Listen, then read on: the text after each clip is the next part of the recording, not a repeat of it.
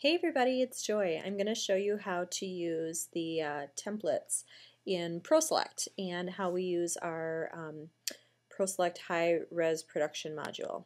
So the first thing you need to do is um, learn how to do the High Res Production module.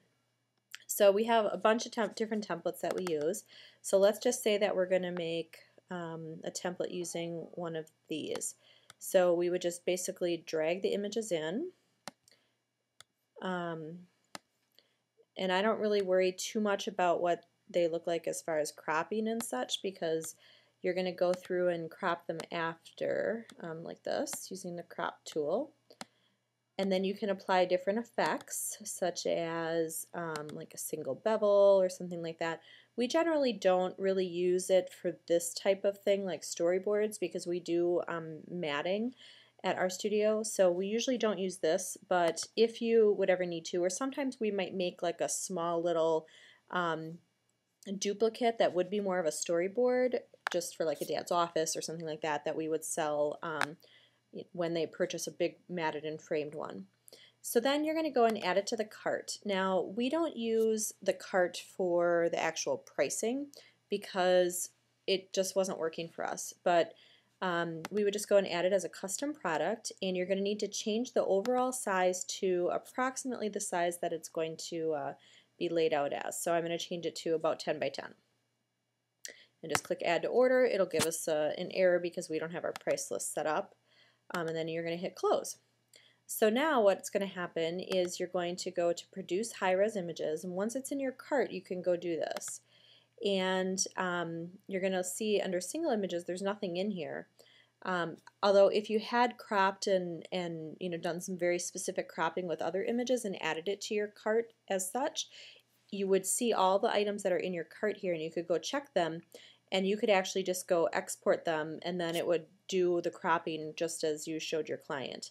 Um, but we're just going to use it for the high-res production module. You can see um, I've actually already done a, a, book layout with this particular um, session, so you're going to see all the different book book layouts, and I can show you how I do that maybe in another video. But um, So here's the layout that we wanted to create.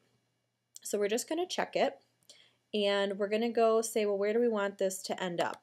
Well, I'm just going to put it on my desktop so that it's easy for me to find it for right now. So I'm just going to say choose my desktop and then I'm going to click um, Make High-Res Production Images. Now the first thing that you're going to want to do though before you do that is actually go and check your setup because you can have it export a couple different ways. You can have it export at exact size.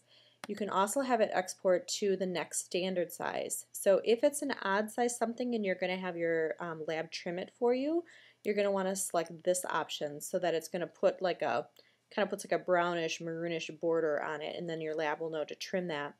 Um, but I always just export it at the exact size, and then I can um, add, you know, a layer if I need to. Um, you can then choose if you want it to export as layered Photoshop files. This is what I do when I'm exporting albums because what I'm going to do when I'm creating albums is then go and put in uh, papers and maybe some different design elements to make them look a little bit more attractive.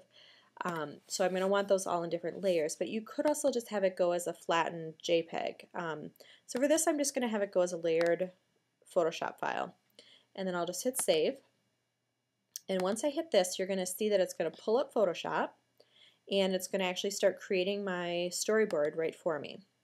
Now this is super super helpful when you're doing albums because essentially you can lay out your whole album, get your pictures exactly how you want them, and then um, you know go ahead and you know lay them all out produce them all and then all I do is I open them all back up in Photoshop and I just drag and drop some like decorative papers and design elements flatten it save it and we're done. Okay so let's just say that now we want to um, create a new template and so what you're going to do is you're going to go into templates and you're going to go edit templates now let's say that our client wanted um, two pictures here instead of three. What we're going to do is we're going to go find the template that had the three, which is the one we're going to start with, and we're just going to duplicate this and save it as a new name. So I'll just save it as version 2. And then we can take this one out and we're just going to drag this one down and just make it one square above the middle of that one and we'll drag this one up make that one one square below the middle and now we can save our changes and we're going to have an image um, a template with two now let's just say that we wanted to create one where it's going to be, be a holiday card and it's going to have one of our designer templates. Um, you can see in whenever I buy a new template set I will actually go through and recreate or um, you know create them into ProSelect templates so that I could just drag and drop them. You can see here's holiday cards and we've done this with lots of different things like um, mini album templates and things like that. So what you're going to do for that is you're going to go to Edit Templates, and this time you're going to create a new template. So I'm going to call this, I'm going to put it in group um, 32, and I'm just going to call it, we'll just call it 5 by 5 And I know from my lab that press printed templates for 5 by 5s are 5.25 by 5.25 square. So I'm going to hit Apply Changes. And now this, where the little teal is, that's where um, your image is going to end up going. So what I want to do is actually apply an overlay and an overlay is kind of like a tattoo that's going to go over the top of your image. So I'm just going to make this smaller so that it's easier for me to see it. Then I'm going to click on my overlay image and it's going to pull up, these are all different types of overlays that I have already have, either I've purchased or I've you know created them. Um, but what I'm going to do is go and import a new one. Now what you need to have to prepare for this is you actually need to have the PSD file flattened where the image itself is going to be transparent. So I've already gone ahead and done that. So what I've done is I've just flattened it where, and I made it where the, the image itself is going to go as transparent all the way to the back. Um, you can keep the layers except it still needs to be transparent to the back wherever the image is going to go because everything else is going to layer over the top of that. So once you've done that, then you can go ahead and import your image.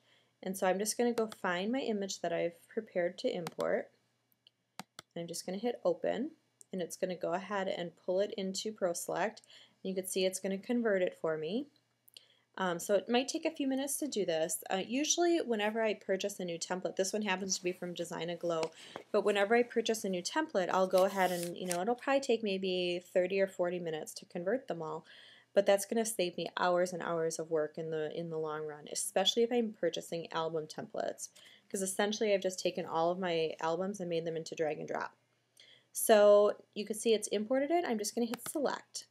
Now it's going to put it right over the top. Now wherever there's gray, that's where you're going to be able to see the picture poking through. So I like to make it so that it's just barely covering my teal. And so I want to make sure that this one is going to be good all the way around. So I'm just going to make it like that. I'm going to save my changes and we are good to go.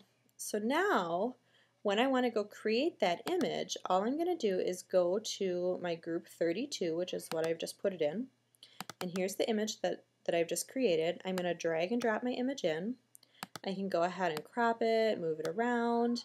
I can go ahead and add it to the cart just like I did before as a custom product. And when you do the same thing that you did before, it's going to export it with the design right on the top. Now you could do a lot of other super cool stuff, and I'm going to talk about that in a separate video, because otherwise this one's going to be way too long. So thanks for listening.